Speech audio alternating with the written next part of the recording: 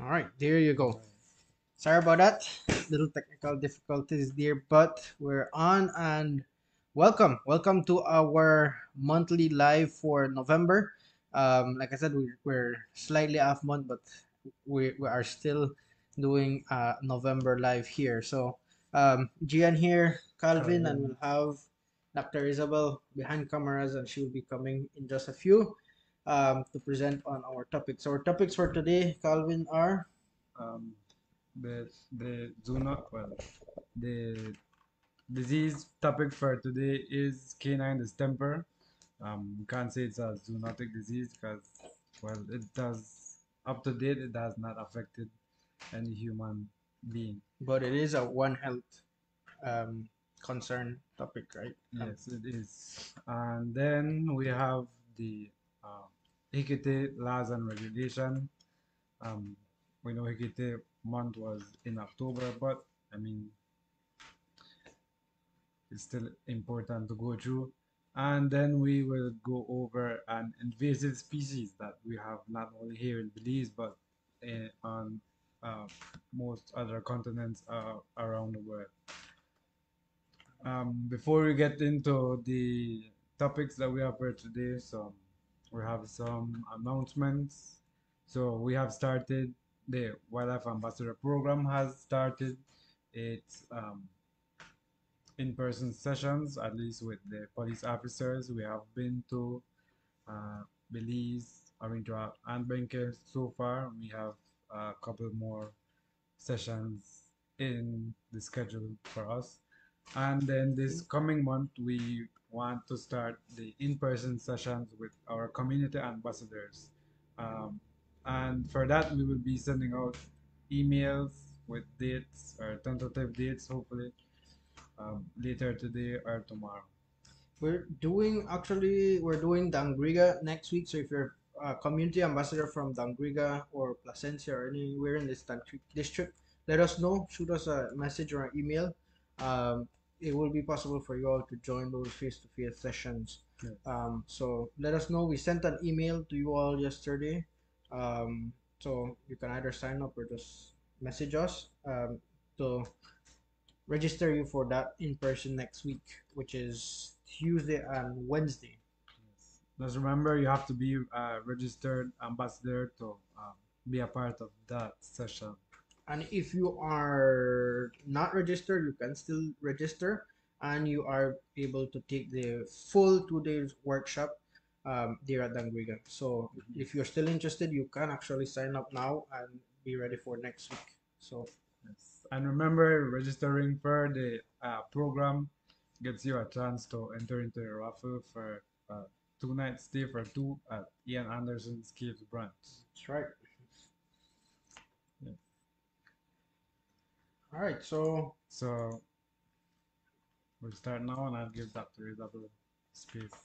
Alright, so it's so we have Hicatee laws, Turtle Invaders, right here slider, and we will start now with canine distemper, and we'll have Dr. Isabel, and we'll just go over a few questions, and if you have some questions there, um, in the comments, ask, and then we'll see. We can probably discuss some questions on canine distemper virus. All right, so yes, Dr. Isabel, so we're looking at um, canine distemper. You want to give us a small overview on what it is? Yes, so first of all, hello and thank you so much. I will still provide a more in-depth, complete presentation at some point in the not too distant future, but for today, just a little single sitting verbal summary.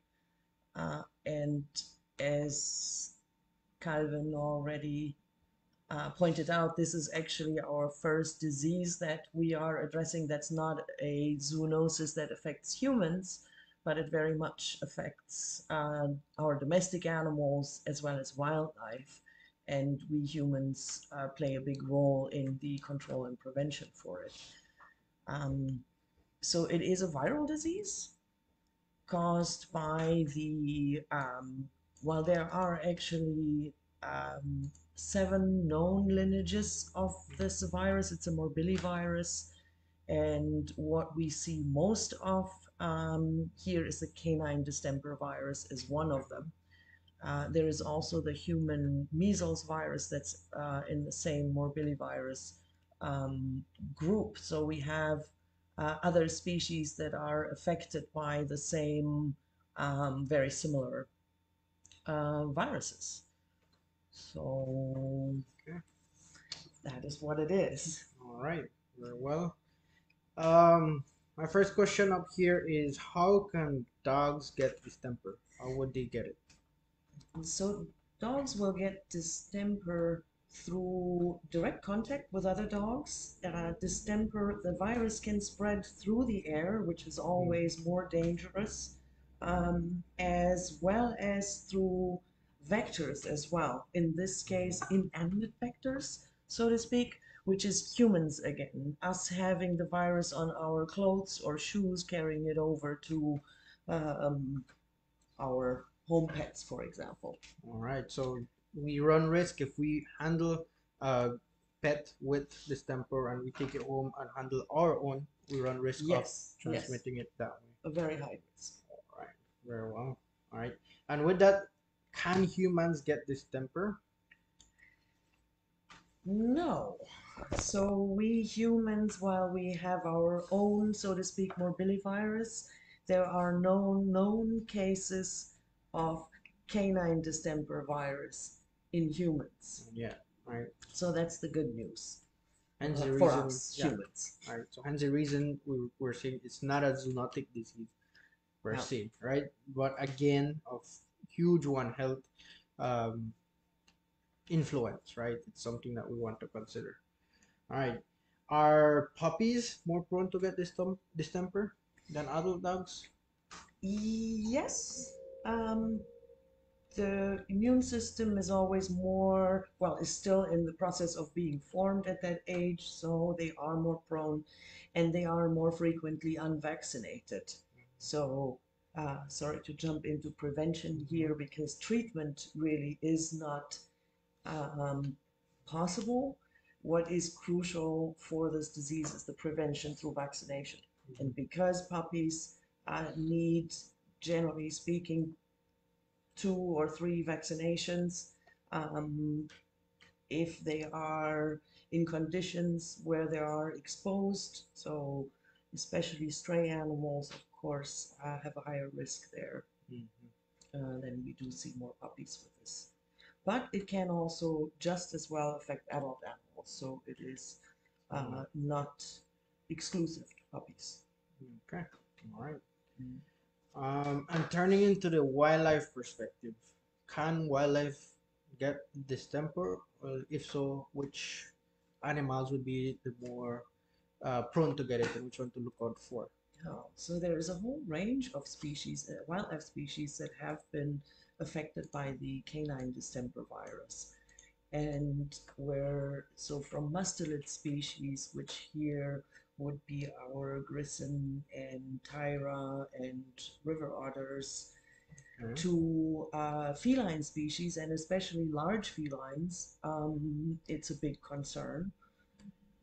Um, and then, of course, our um, canine uh, species as well. So, speaking of foxes, and or um, just today we're having a Mm. report of an animal, uh, which is a raccoon, that is showing um, signs that would very possibly be caused by distemper.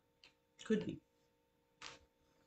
Hence the reason I would always recommend not to handle wildlife, right?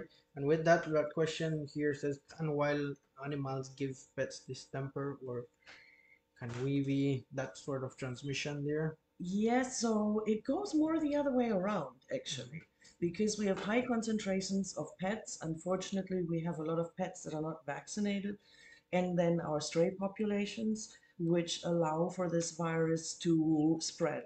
And then we have the unfortunate wildlife that is getting into these semi urban areas and getting in contact with infected pets, and then wildlife gets it. Mm-hmm. And when it comes to distemper in most wildlife species, uh, the canine distemper is adapted to dogs, and dogs have a, uh mortality rate as well, so not all dogs survive distemper. Um, but in wildlife, these mortality rates are much, much higher. So most wildlife infected with distemper acquires it from domestic animals and uh, suffers more from the disease. Right. But it is possible that there would be some sort of transmission in that case. Yes. All right. What would be signs of distemper if there's any? Yes, so that is uh, again a very diverse uh, answer there. We have many different signs. The cardinal signs that mm, we see are often neurologic. So the animals are ataxic, they're wobbly, they're trembling, they're falling over, they're walking weirdly, and then they may also walk in circles and um, show a lot of behaviors that we would also see in a rabbit animal, which is why, again, this disease, even though it is not a zoonosis, it is a really important disease for awareness um, as a so called differential. Right. Um, so that's neurologic signs. I just got started. We have respiratory signs, uh, we have ophthalmic signs, and then we have other chronic signs. So respiratory means they can just have a cold. In a nutshell, any fever with multiple systems affected in a dog has to have this disease as a differential because we may see changes in again their lungs, their eyes, their nose, their pads, their skin, um, and the way they act and behave and their nervous system. Uh, and I may have forgotten something too, because as said early on, I haven't yet done my full uh, research for this really broad, uh, complex disease. All right. So wide wide wide array of signs, but those are the main ones, right? Neurological, respiratory, um, and you say O- Often uh, eyes, often. eyes. Um, Ophthalmic. have, to, Alright. have to switch up those words. Yeah. All right. Can a dog recover from distemper once? Yes, they can. It depends on the viral load that they get. If they get a very high load of uh, virus and or their immune system is very compromised, they will die. And Mhm. there is, as so or as often with neurologic diseases, there is no easy way to predict it unless you know how much virus did this animal uh, ingest. Um, So, you won't know. Um, so hard to tell, but it may be possible that they may survive it. And would they have some sort of neurological yes. effects thereafter? Yes.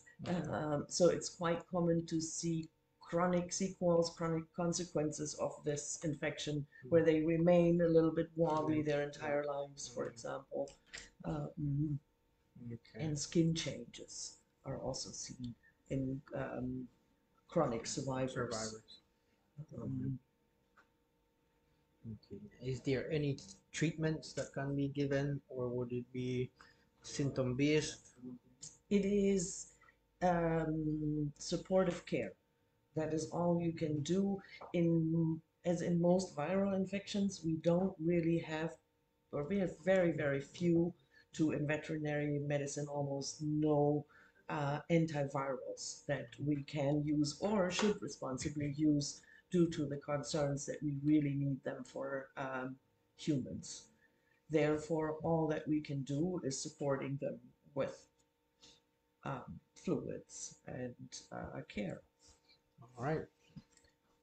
Uh, yeah, and more. But we're not here to discuss treatments too much, other than specific treatment for the disease does not exist, uh, making prevention so important. Okay. So, all right. Well, let's let's look at the last question there because we do have one here on the comments. Um, prevention and how can you avoid distemper So yeah, key thing, vaccination. vaccination? Vaccination of dogs according to manufacturer's instructions. which generally speaking, this is the five and one vaccine that is instructed to be given uh, at week six, nine, and 12, uh, including parvo, then one more time, actually. And with that, you can be reasonably assured that your animal will not contract the disease, uh, nor will it necessarily spread it. Um, and next prevention is of course to be aware of this, to be to eliminate the contact. So don't let the dogs roam because that's where they may get in contact with unvaccinated stray animals uh, that have the virus and then may also spread it to wildlife. Okay. And with that note, how are we in terms of distemper in Belize? I heard that last year we had an outbreak. Do you have? Yes, so we have, uh, I, uh, again, I don't have the precise numbers on this. This is something that we have to really look in uh, conjunction with all the veterinarians. But there have definitely been uh, reports of uh, outbreaks uh, sporadically from Belize City as well as in northern Belize and uh, for the other areas. I will have to ask the other colleagues. I. Um, I have personally sent in three cases, um, but it was uh, two years ago now. I think last year we haven't sent in um, a suspect case, but we've also not really seen domestic animals here for general consults uh, and only wildlife. Okay, so definitely something to look out for in those areas and in general, right? Yes. Gregorio Daniel has a question here saying, What are the differences between distemper and rabies? What system of the animal do they affect, and how can you tell or suspect this disease is at an early stage? Um, so the difference is that's a really good and important question. Uh, the difference, the, the differentiation can really only be made by looking at how the disease develops or virus testing, which is uh, done by PCR for uh, distemper. Um, and as far as I am aware, not available in Belize, so requires sending samples abroad. Um, and for rabies, the testing can be done here in Belize, but it requires euthanasia of the animal first so that it can be tested. So it is of crucial importance to treat any animal that is suspicious of distemper as suspicious of rabies and to avoid at all costs any direct interaction and touching of these animals where any scratches could occur or contact of the saliva of this animal with any minor wounds um, and or wounds inside your mouth as well. Uh, um, so the differentiation is not possible by clinical signs. Um, if no human is uh, at risk with this animal, if no human has had the contact that would have put him at risk, then uh, an animal can be quarantined to observe. And rabies is 100% fatal. So, and once the animals show clinical signs, they will generally be uh, dead within no more than seven days. Um, whereas distemper may then develop more other symptoms, uh, including the signs on the eyes and the, res- uh, the respiratory system, etc., and becomes more of a chronic disease. Whereas rabies, once it reaches showing signs, and the problem is in the beginning they can look exactly identical, and there is no way uh, to tell them apart. So it requires utmost um, precautions, hands off, uh, protective gear, uh, um, and reporting any scratches or bites. Sorry, Alright. that's the lengthy one, but um, that's why this disease, even though it's in, in quotation marks just an animal disease, it is so important uh, to be aware of. So short, very hard to tell, right? So talking about distemper here, I guess the last part, how can you tell or suspect this disease is at an early stage? It's it's tough, right? It's tough, so it's progressive. um, the animals become more and more compromised. With rabies, again, this process is reasonably fast, where then they will no longer be able to stand, they will be uh, down, um, they are no longer aware of their surroundings, and they may become either aggressive or very uh, subdued. And for distemper, they will progressively become more uncoordinated. And as mentioned earlier, depending on how strong or how high of a load they got infected with, they may actually slowly recover or start recovering at some point. Or they may progress um, into, again, being down, out, and um, passing. All right. Okay. Well, thank you for your question, Gregorio Daniel. I hope that more or less covered what you asked. Um, I don't know. Well, no one else has asked any questions, but very interesting, right? Very interesting, and um, yeah, maybe we can do more of these diseases in the future, and probably do it this way. And you all can ask your questions and what you want to learn about this specific top diseases, right? So I think we have two more topics, so we will close distemper for now. But do ask your questions if you Yes. still have questions. We can um, look at them throughout the live. But for now, thank you, Dr. Isabel, um, and we will close distemper for now. Thank you.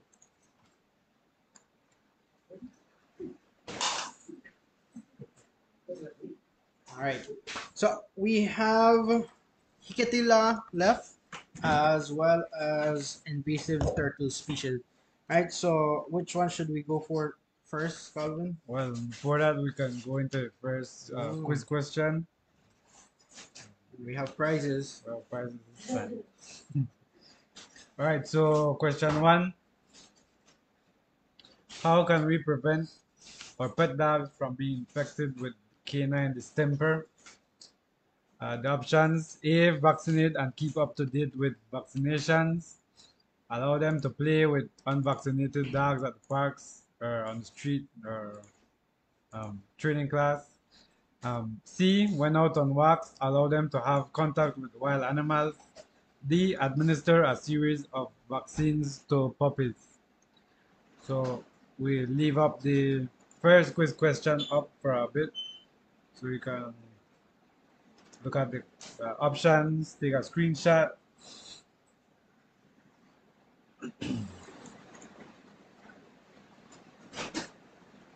Multiple answers, right? There's more than one answer, so select all of them and send us um, all Comment the answer Yes. in the comment section. Just the letter will be enough.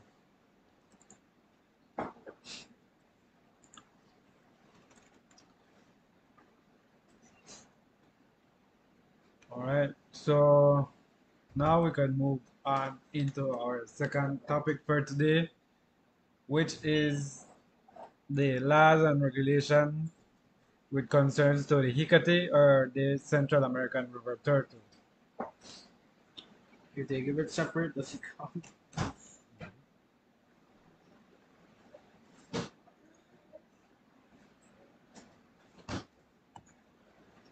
Alright.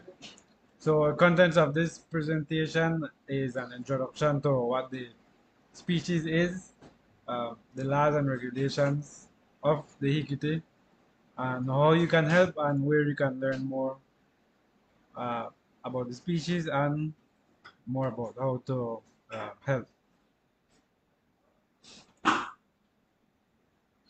So the Central American river turtle with the scientific name Dermatemys mawii, or as we know it, the Hicatee is the rarest turtle in the world and is listed as critically endangered in the IUCN Red List. And the IUCN Red List is a scientific database um, that tells us the extinction risk of each species that has been um, studied so far. So this Hicatee turtle can be found in Mexico, Belize, Guatemala, and Honduras. And it is a fully aquatic species and their mating season uh, is from September to November, and they can lay their eggs, which can stay in place for up to 200 days until the temperature is good for them to hatch. And sometimes it may take up to 300 days for the eggs to hatch after they have been laid. So, some um, uses that, well, uses the Hicatee has come into play. Uh, it has been a food source for hundreds of years. Even the ancient Maya uh, ate it. And with the growing human population and increased consumption rate, then that has increased pressure on the survival of this species itself, along with some other um, threats like habitat destruction, habitat loss.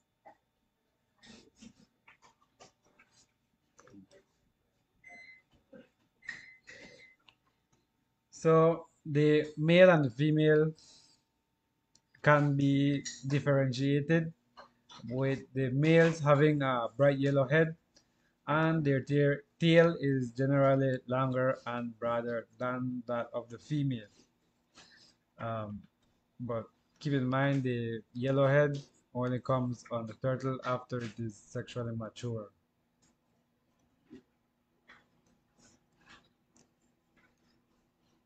So laws and regulations in concern with the Hicatee. As Belizeans or as citizens of Belize or people passing through Belize, we cannot sell or purchase uh, Hicatee turtle. It is illegal. Um, they have a closed season to hunt the species from May 1st to May 31st. Yes, just one month. I know, right?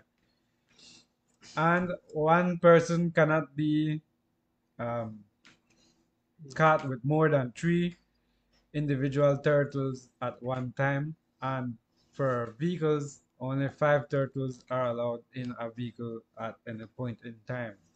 Even if there are two people in the vehicle, still only five turtles are to be in that vehicle. There are size restrictions when it comes to the females. they should be between the sizes of 15.2 inches and 17.2 inches. And this is the length of the carapace, the top part of the shell. So that must be from the point where the head is to where the tail comes out it should be between 15.2 inches and 17.2 inches. Um, to capture these animals, the use of nets are, is prohibited. So if you want to catch the animal, um, you'd have to do it by hand. Um, there are some places in Belize that it is illegal to capture these these turtle species. Um, that is outside of protected areas, but that also includes in protected areas. No hunting can occur in any protected area. And they cannot be kept as pets. So you can't catch one or two uh, hicatees and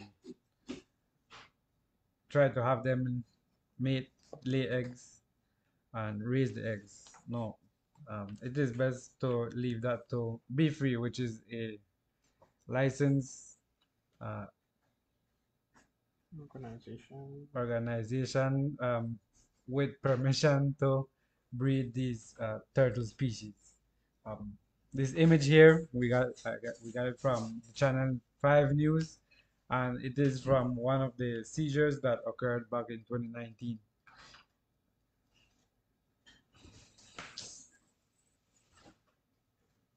So how can you help save the Hicatee turtle? Well, avoid eating the Hicatee meat. Obviously, if we leave the Hicatees alone, then they will have a chance to bounce back from their critically endangered status and eventually, hopefully, make it to least concern. So, following the fisheries laws and regulations, um, which I just went over, and even conserving and protecting the habitats that these uh, that this turtle species occupy, which is mostly uh, rivers, ponds, um, some in brackish water, right? And yes, so leave the Hicatee, leave the Hicatee uh, breeding to the experts, right? That should be captured. So, in order to learn more about the Hicatee and what you can do, regulations, you could visit the Belize Fisheries Department uh, website, fishes.gov.bz, or give them a call if you have any question Or you can visit the BFREE uh, website as well at bfreebz.org or the Lamanai Field Research Station at lamanai.org, or TIDE as well at tidebelize.org or Turtle Survival Alliance at turtlesurvival.org.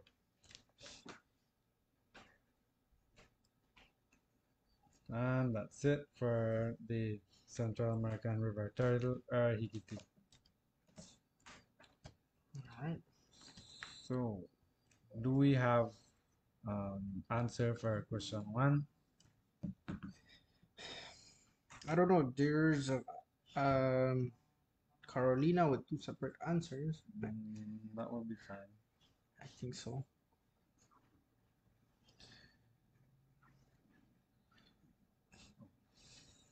So yes, Carolina.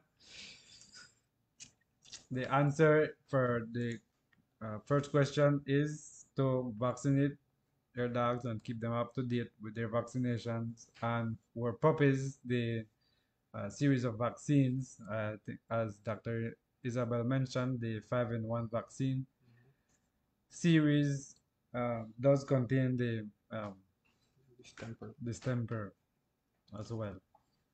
Mm-hmm. All right. Right. So I guess we could go to the second question. And this one is based on Hicatee regulation in Belize. So this one has more than one answer. Select the correct Hicatee regulation in Belize. A. Only six turtles per person is allowed. B. No more than five turtles is is allowed per vehicle. Uh, female carpus size or length limit is between 15.2 inches and 17.2 inches. Um, D. The turtles can be captured using nets. And E. There is an open season of from June 1st to April 30th. We leave this up for a few seconds. And again, select all that applies, right? Multiple correct answers.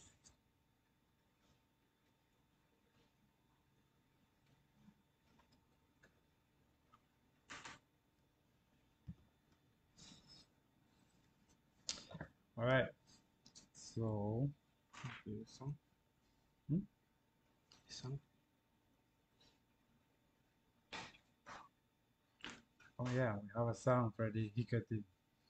Right, So, uh, just as a fun interlude there before our next topic, uh, we want you to enjoy this short little music video on Hicatee, Mr. Hicatee, by well, the guys from.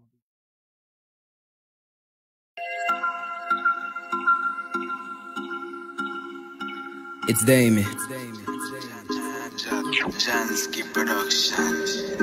Mr. Hicatee. How things set? Not a good, I nearly get kids in a wallet. Stop play real talk that make me upset. Yes, sir, you would not believe what happened next. Talk to me, how the people had your head? The net couldn't work, so he died instead. What a go on with me people, humans again? I know, right?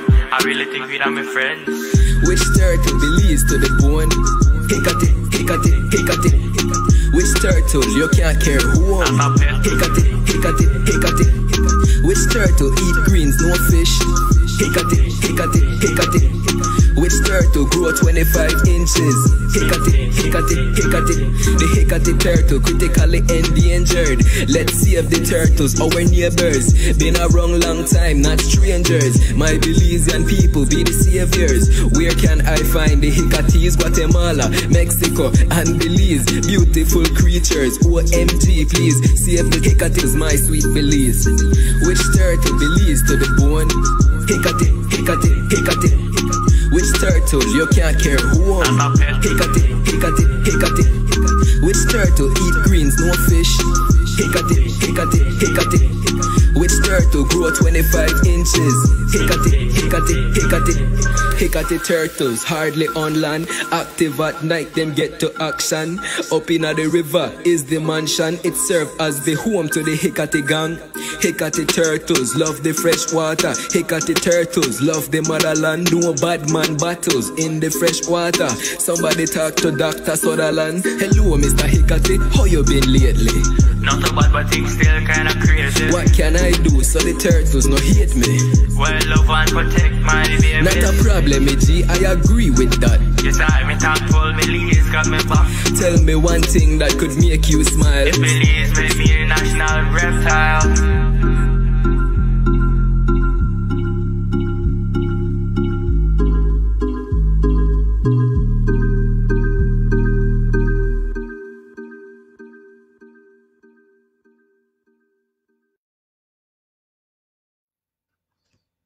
All right, so that's a fun song there from BFREE and Turtle Survival Alliance, right?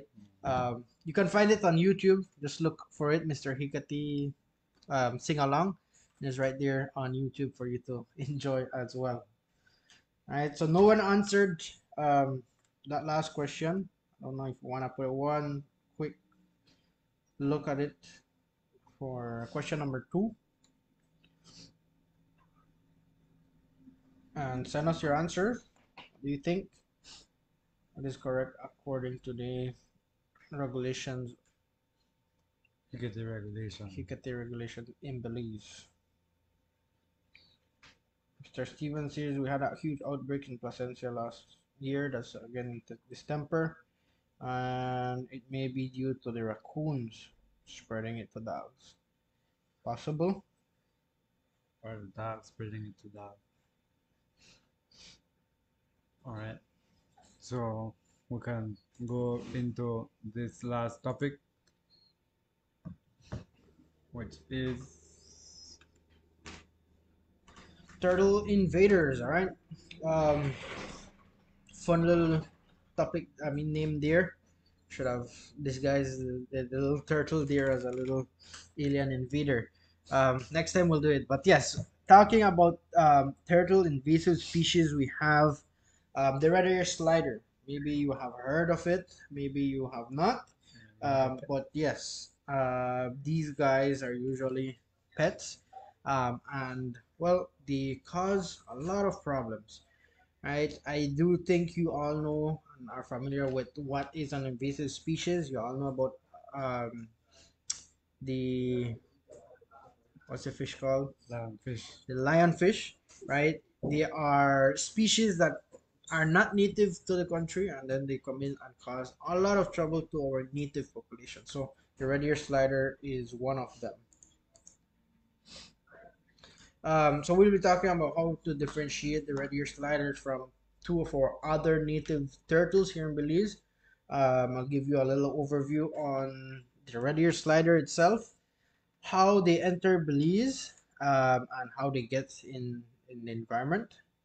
Um, why and what is an environmental threat in regards to these guys, and what should you do if you would find a red ear slider in the wild? Yeah. Mhm.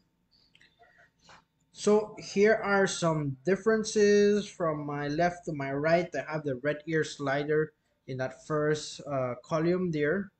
Then I have a similar turtle, which is the furrowed wood turtle. And then we have the Mesoamerican slider um, to my farthest right. So um, the red ear slider and the Mesoamerican sliders, they do look alike. Um, and people could confuse them The main difference there, well, a little bit on their carapace or their shells, uh, their top and bottom shells. However, the obvious difference would be that red little stripe um, behind the eyes of the red ear slider, as you can see in the um, picture there to your left, right? The Mesoamerican sliders will not have that coloration there, right? So that would be the main difference when it comes to the red ear slider, the Mesoamerican slider, right? They do look very much alike, however, those have that little red stripe behind their ears. Um, and then why we have the furrowed wood turtle here is because they actually have a small little red stripe around their eyes, somewhere there in their head. They have some sort of um, red little coloration there. However, if you notice in the middle pictures where it has the plastron, the bottom shell, there's a much blacker um, coloration to their bottom shell right? So that's the difference between the furrowed wood turtle and the um, red ear slider. There are some coloration when it comes to the top of their shell as well even though you can't see it much it's more it has some decorated um, coloration on the top of your shell. But huge difference here. Um, sometimes hard to tell and whenever you're unsure just send, send us a picture and we can um, help you with the identification of these um, turtles right? So when it comes to red ear slider Trachemys scripta elegans it's a subspecies of Trachemys scripta which is the regular um, sliders uh, these are native to southeast central um, US and all the way up to northern Mexico. These are found in usually freshwater or brackish environments and can live in uh, evergreen forests whereby you have a, um, a water source nearby. They can also live in moist sloughs and muddy areas as well. They can grow anywhere between 10 to 29 centimeters um, and they're sexually dimorphic, meaning that the males and the females you can tell apart physically. Um, for these guys, the females are usually larger, right? So that's how you can tell them apart, as well as uh, less obvious would be their tails.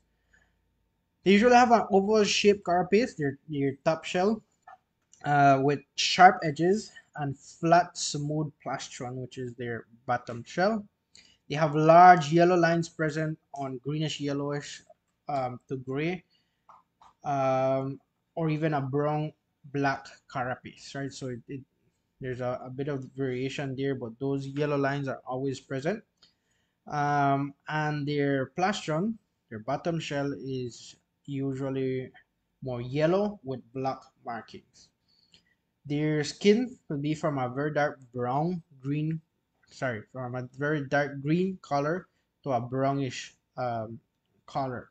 So that's how their skin will look like uh, along with these yellow stripes as well and that obvious horizontal lines behind their eyes with that bright red streak, right? That gives them the, the red ear name, right? Even though it's not exactly their ears, uh, but that's more or less their ear region there. So how do these guys enter Belize? Well, the main issue with these guys is pet trades. People get them as pets and they enter through Belize um, with it, it may be legal pet trade, possibly illegal pet trade as well. Um, you may need an import permit from the Ministry of Agriculture if you do bring these in and they are subject to inspection upon arrival by quarantine inspectors. These are sold mainly in pet shops around the country, and we see them sometimes at markets. Um, and people buy them as little little turtles, and they try to grow them. And um, well, these guys can grow big. They can grow right up to a foot in length and weigh up to three kilograms and eat a lot and kind of hard to manage once they're full grown adults. So people sometimes would have trouble feeding them or have trouble uh, dealing with them, and eventually they would get kind of tired of them and release them into the environment. um, and that is bad. We, we don't encourage that, and we try to advise people against that because, well, they are an invasive species and they will cause trouble for natives. Right, some of them can enter the environment as escapees. Right, they can escape their um, their pets enclosures or their, their pet habitats that you have them at home and enter the environment that way. Right, so that is how they could enter into the environment and compete with um, our native species. When it comes to the threats of these guys, at a human perspective, well, we always have to watch out for zoonosis. In this case, we know that one of these zoonoses that can pass to humans would be salmonellosis. Um, there's a lot of link between salmonellosis and reptiles, especially these guys. So it's always good to watch out for these things. Always wash your hands and take proper um, sanitary procedures when it comes to handling these guys. And the biggest threat there is that there are a invasive species species and not just here in Belize, across many continents and across uh, a variety of other native turtle species, they cause a lot of problems. They do cause inbreeding, which means that they will um, try to hybridize and, and breed with, well, the wrong turtles, the related uh, slider species. They do create hybrids, and well, that is not necessarily good in an ecological perspective. They compete, they're very strong competitors with the turtle um, species that we have here. Natively, they're more aggressive, they eat a lot more, um, and you know, they do as a whole just compete stronger with the native turtles and they introduce new diseases into the environment since they come with a history of um, pet trade and what's not.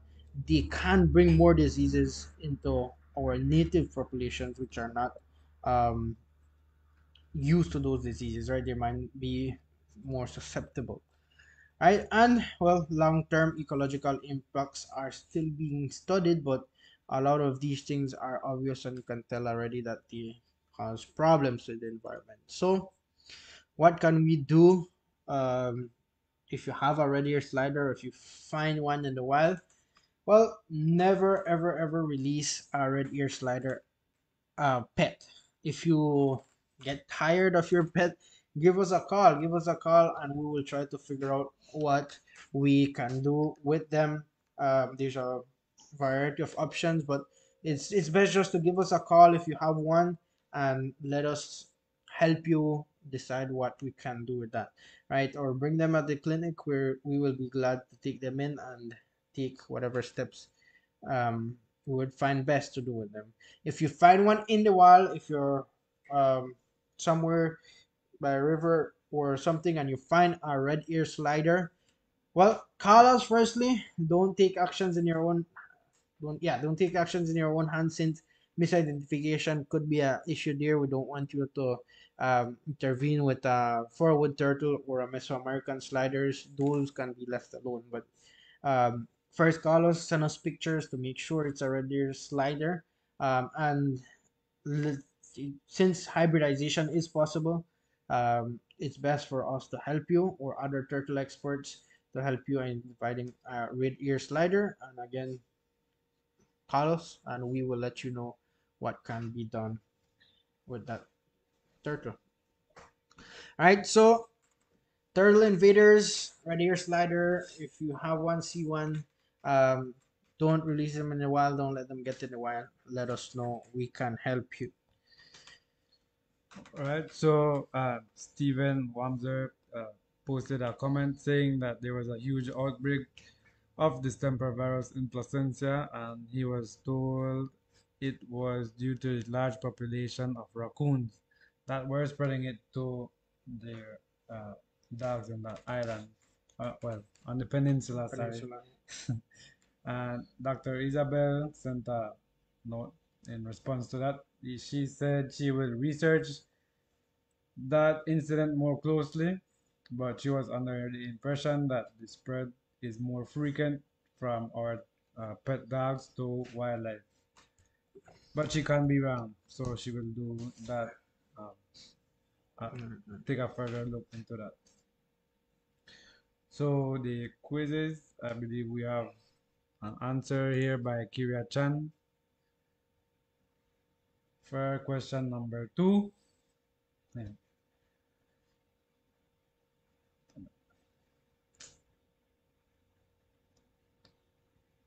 And the answer is B, C, and E. Uh, no more than five turtles. A vehicle is not, well, uh, people are not allowed to have more than five uh, turtles per vehicle. And the size limit for the female Hicatee is 15.2 inches and 17.2 inches.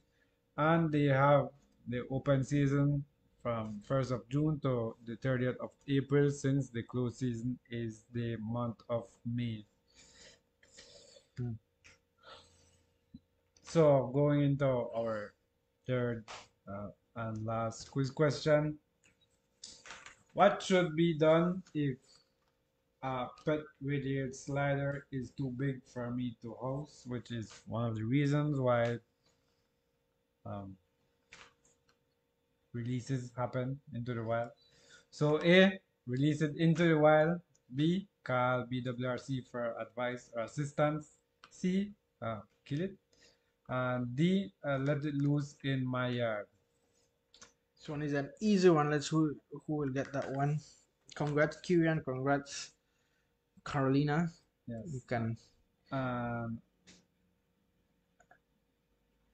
you can, you can pass for your little calendar prizes here at the clinic.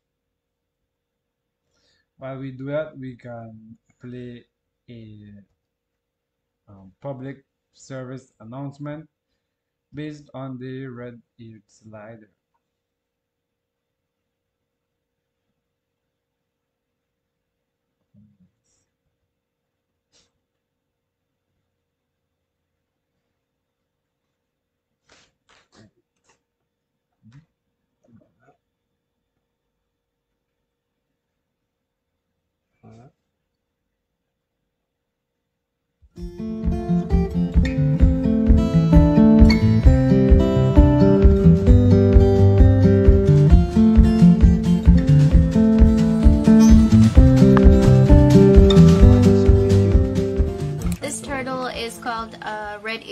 Slider.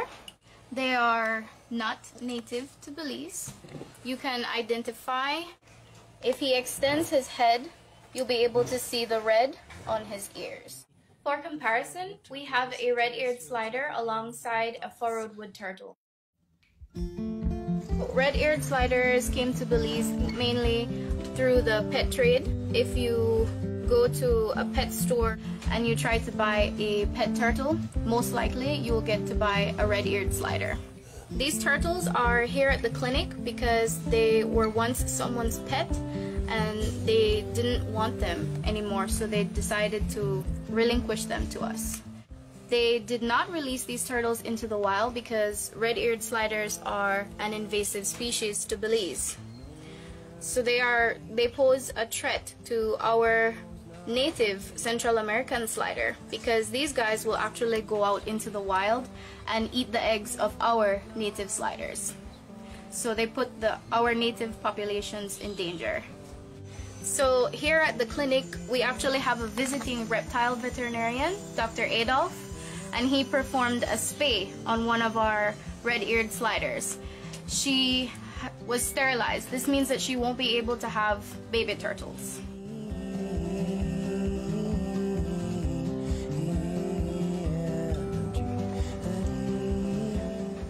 Here we are one week later. These red-eared sliders have been sterilized.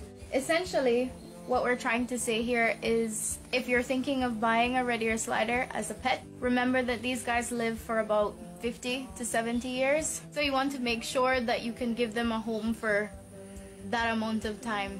If you already have red-eared sliders and you wouldn't like to keep them anymore, please contact the clinic, bring them in. We'd love to take them in. These guys will be staying with us until we can find them a better home. For more help identifying the red-eared slider, you can look us up on Facebook or on our website where we have a catalog showing the differences. If you happen to find the red-eared slider in the wild, you can always pick it up and bring it into the clinic.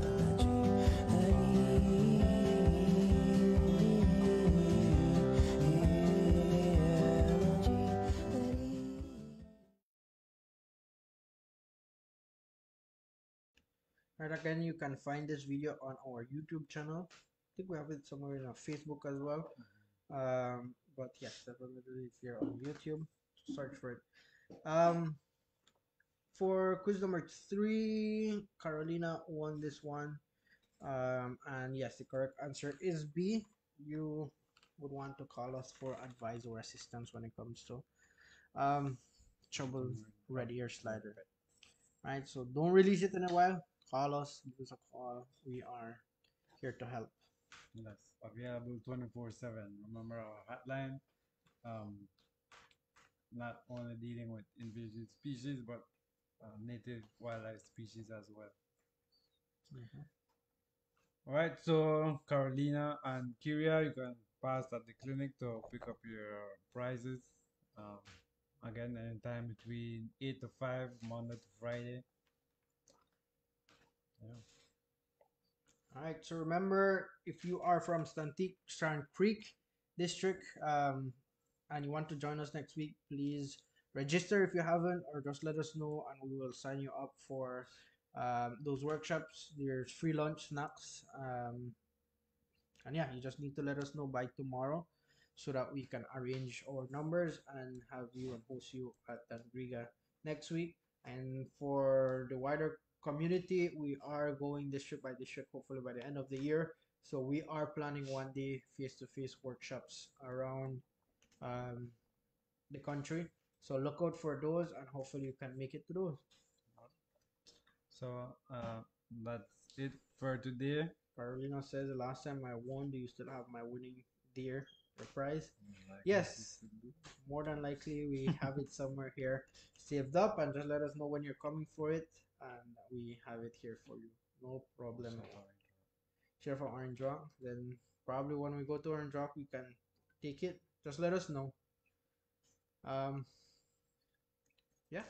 So with that, we're glad to have WAP on its well on its way, and again, the 28th of January, uh, reaching out to all our wildlife ambassadors. You are invited at the San Ignacio Hotel, where we'll do a little year in resume. We're having um, some really nice um, lectures and topics we'll talk about that day. We'll give a couple of awards and prizes, um, lunch, of course. So don't miss out the January 28th National um, Wildlife Ambassador Program conference, right? So each ambassador is entitled to come, and that's where we're raffling that um, two nights for two at Ian Anderson's Cave Branch. Yes.